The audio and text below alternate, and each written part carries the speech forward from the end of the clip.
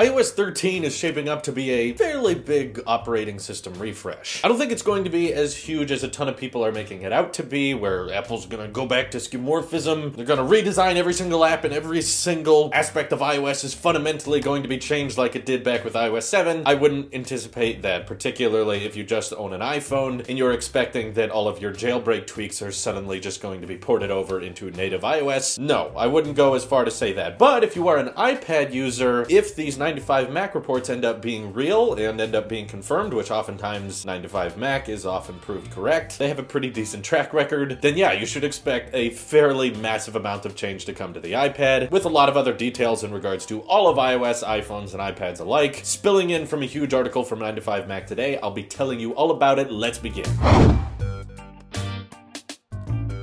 So obviously there's the main stuff you guys want to hear about the iPhone, but I mainly want to talk about the iPad first because it sounds more interesting to me. The biggest one being Windows support. So I'm not referring to Microsoft's Windows, okay? We're talking about being able to individually take an app and put it on top of a different app within the iPad's operating system. Now, because everything is so touch-based over on the iPad, that's why you haven't seen a lot of Windows or a lot of apps kind of be treated as resizable tiles as you do on a desktop because that's a lot easier to navigate with a mouse. That's how Windows has been doing it for years, and that's why they're called Windows, and that's how Mac has been doing it for years. We haven't been able to kind of accurately imitate it, though, on tablets very well without requiring a mouse to be plugged in so that people can manage those tiles differently. But it sounds like Apple is going to be trying to turn the iPad into more of a laptop slash desktop type experience, with, of course, not including mouse support. I think that's the fundamental difference between a laptop and an iPad, is their primary method of input. iPad's all about touchscreen. Sure, you can dock keyboards to it, but for the most part, you have to interact with that touchscreen, whereas laptops, you interact primarily with a mouse. There are laptops out there with touchscreens, but you'll notice that most of the time, people are going to end up using it with a mouse more than a touch interface anyway. So Apple trying to find this perfect middle ground to where you can open little windows, like for instance, if you were texting someone and you wanted to look at maps at the same time, you'd basically be able to launch the iPhone version of Maps and put it on top top of the iPad version of Messages because iPhone version is a lot smaller. So similar to picture-in-picture, you'll just be able to throw that window anywhere on the screen so that you can keep looking at it while still texting someone, telling them directions, or very common example I've seen brought up in the past is having a calculator window on top of a regular iPad app, like you're taking notes, for instance. And while you're taking notes, you want a calculator not taking up half the screen or even a third of the screen, just a little portion of the iPad's OS so that if you need to do some calculations real quick as you're taking notes, the calculator's right there. You don't have to go back and forth between the calculator app and your notes app. But oh, wait a minute, iPad still doesn't have a calculator app built in by default. Oh my god, I feel like iOS 13 is the year of catch up. Like, oh yeah, we meant to get to that. I guess we're getting to it now. Things we've been asking for years for, we might finally be getting this year, hopefully. But yeah, anyway, there are plenty of applications where having Windows support on the iPad, being able to launch apps in kind of their iPhone-ish form, in and layering them on top of each other will be quite helpful for productivity. And they've also detailed the 9 to 5 Mac's report the idea of being able to select multiple files will be easier than before and likely taking a lot of design tropes from the way Macs have worked for years, being able to click and drag and select lots of files simultaneously. They could be imitating something like that in iOS this year so that you'll be able to kind of hold and drag over lots of pictures or documents and select them all very quickly because right now there's a lot of people that have to hit select and then tap, tap, tap, tap, tap, tap, and they have to select every single file, which gets redundant and is definitely less efficient for a ton of people than just being able to select lots of files like you do on your Mac. So I'm happy to hear that they're bringing that type of support over to the iPad. Not to mention, we've had previous reports stating that the iPad home screen will be drastically redesigned with iOS 13 to support likely things like widgets or maybe even the idea of apps showing you some content on the home screen before you launch that app. Like for instance, what if messages could show you the latest message you have on the home screen. So you don't have to open the app to see what the latest message is. It'll just show up right there on the home screen. Or your latest reminder will show up in a reminder tile that's a little bit bigger than just the standard app icon. In other words, what I'm trying to say is if these leaks end up being true, which as always, take everything with a grain of salt, the iPad should be getting a pretty massive overhaul when it comes to iOS. Whether or not they'll allow the iPad Pro to support external drives like laptops do, which I know is a big deciding factor for a ton of people. That was one of the most common complaints complaints brought up with the iPad Pro switching to USB-C is that there's a ton of USB-C accessories that are limited by iOS, so that's why you can't use external drives with your iPad like you would a MacBook. They didn't go into any details about that, but if it ends up being true that they're redesigning the Files app to be a bit more customizable and give the user a bit more freedom, then perhaps Apple is working towards that. They're listening to your criticisms and they're trying to fix them with iOS 13. I'm also very interested to see how all of these app tiles and home screen redesigns are all going to be optimized on a device as tiny as the iPad mini. You know, when it comes to 13 inch iPad Pro, I can definitely see the advantage of a lot of this stuff. Having the calculator there, having maps here, being able to launch a messages on top of the news and not necessarily doing a split view, but just kind of layering different apps. They won't have X buttons in the corner, but you'll just be able to swipe them away to dismiss the apps. Going all in on gestures and making the absolute most capable operating system you can with gestures. I can see it being practical on 13 inch and 11 inch iPad Pros, but imagine doing all that on like an 8 inch iPad mini. I don't know. That might get a little too cluttered, and I think this is not included in the 9 to 5 Mac article, but it's quite possible Apple might give the iPad Pros and the bigger iPads like the iPad Air with the 10.5 inch display, they may give them some more iOS 13 exclusives than the iPad mini will get, simply because that screen is so tiny. How are they going to launch multiple apps on the screen at the same time? It already feels kind of cluttered when you do split screen on the iPad mini, but of course, time will tell. Now, when it comes to iOS 13 changes for the iPhone, a lot of people have described these changes are big, but in my opinion, they're small. They just go a long way. For one, the volume HUD finally being moved out from the center of the screen being so intrusive. 9to5 Mac is saying they're likely going to move that. I'm hoping that they kind of do what Android did and put the volume indicator right next to the volume buttons just because I feel like that's intuitive and that's where most people are naturally going to see that volume indicator change. Been a heavily requested design change for years, and while I don't see that as a huge feature, it's one that everyone's going to notice. It'll be one of those flagship like, oh, this device is on iOS 13 because the volume indicator looks totally different now. If they want to make it even smaller and put it up into one of the ears of the iPhone notches, that would be great too. Anything really that's not just a giant tile in the center of the screen, I would be happy with, and there's no denying it's needed to be updated for a long time. The other big change that 9to5 Mac has also confirmed is a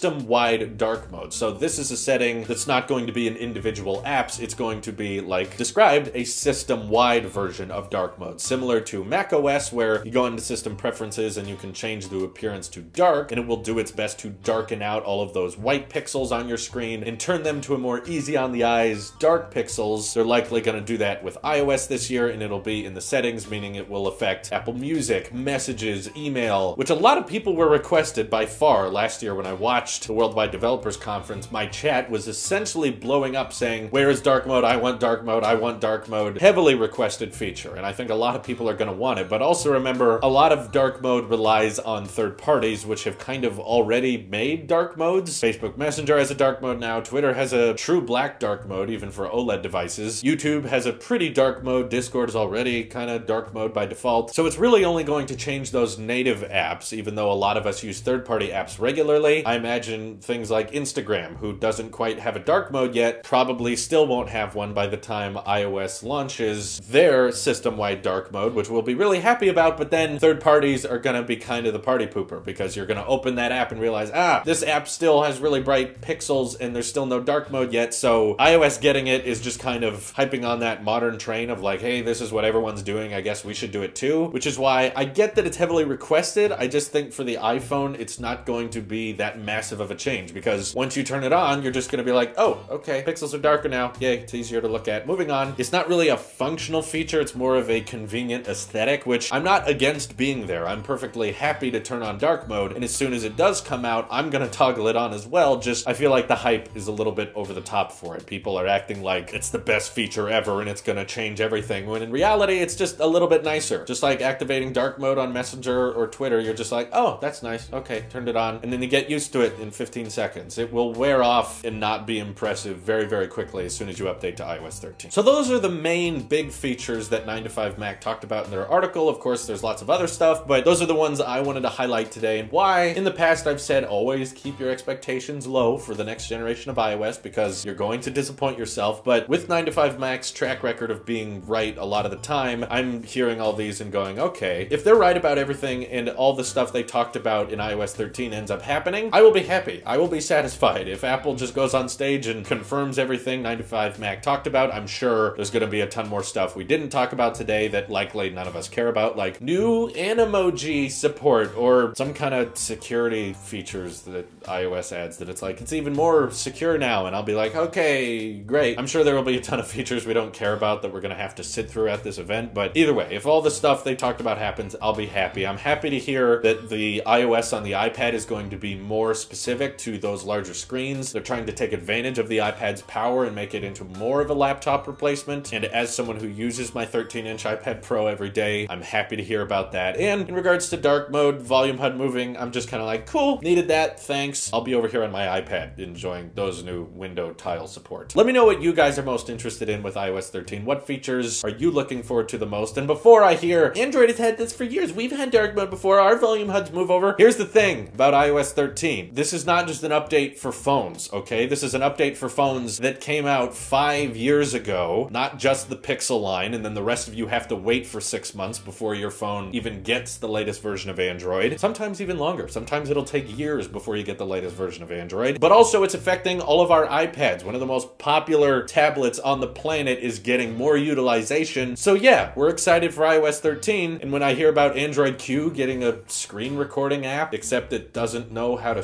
stop recording yet, yeah, I'm not that excited for Android Q. And also probably not that many viewers out there are excited for it because even when Google officially releases Android Q, it won't come to your Android phone for another eight months. That's why we're excited for iOS 13. Reliability, sustainability. We know when the OS is coming out. Apple announces all these features and they tell us what devices are getting them, and usually they're pretty popular devices. Anyway, let me know what you're most hyped for down in the comments below. This is your Apple Sheep here, and I will see you in the next one.